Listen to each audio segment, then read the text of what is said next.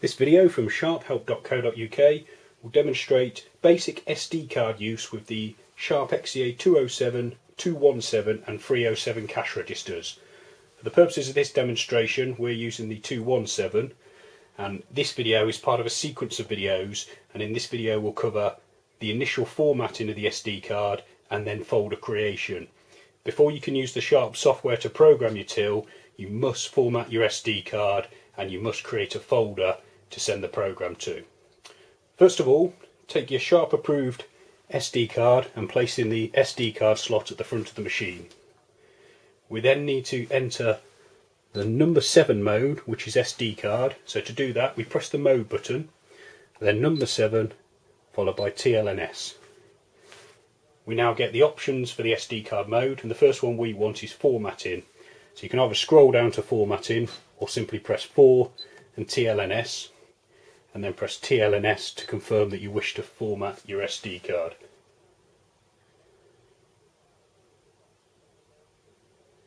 Once the card is formatted you'll be returned to the main SD card menu and we now need to create a folder to save our program into. Scroll up to option 3 folder control, press TLNS and then create folder option 1 is already highlighted so we press TLNS then if you're using the retail machines, the 207 or the 307, you can simply type in the name now. On the 217, the QWERTY keyboard is underneath the master keyboard.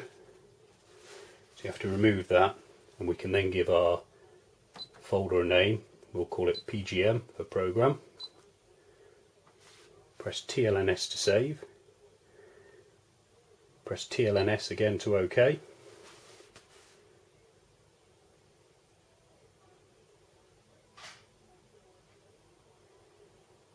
And then once the folder's been created we can press escape cancel to return to the main menu remove our SD card which we can now use in conjunction with the software to program the cash register. For more information on Sharp cash registers and SD card use please visit sharphelp.co.uk.